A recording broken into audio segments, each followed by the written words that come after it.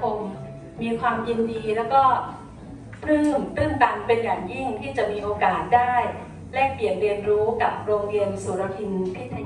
ยา ในวันประเมิน เราต้องเตรียมเขายังไง เพราะว่าที่สุดแล้วนะคะการนำหลักปรัชญาของเศรษฐกิจพอเพียงเข้ามาสู่โรงเรียนของเรา ก็เพื่อที่จะบ่มเพาะคุณลักษณะอยู่อย่างพอเพียง อันนี้คือหัวใจของเราแล้วว่าลูกเราจะทำยังไงนะคะ จะตอบคำถามแบบไหน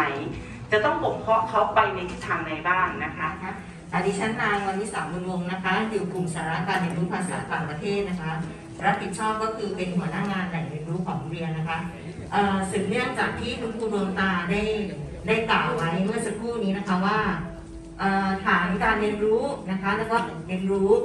มีคะแนนเพียงแค่5คะแนนนะคะ แต่มีความสำคัญมากเนื่องจากว่าคณะกรรมการจะได้พบกับต่อพบปะกับพูดคุยกับนักเรียนโดยตรง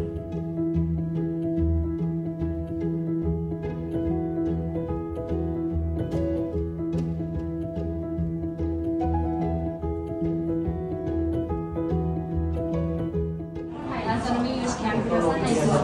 ที่ประเทศจีนค่ะคาวนี้นะคะก็คือเป็นผลงานที่เกิดจากการที่ตนเองค่ะได้นำหลักปรัชญาของเศรษฐกิจพอเพียงเข้ามาใช้ในการดำเนินชีวิต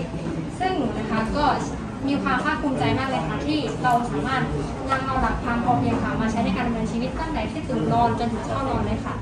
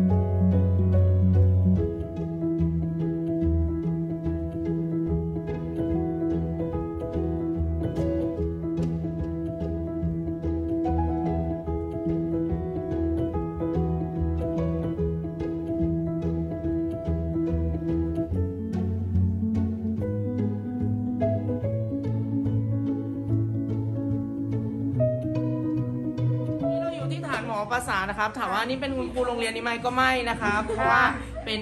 เอ่อผู้มาเยือนนะครับ ถือว่าดำเนินการได้ดีนะครับ จะค่ะถือเอาไปเป็นน่ารักมากค่ะแบบอย่างนะครับโอเคเยี่ยมมากค่ะ ปรบมือ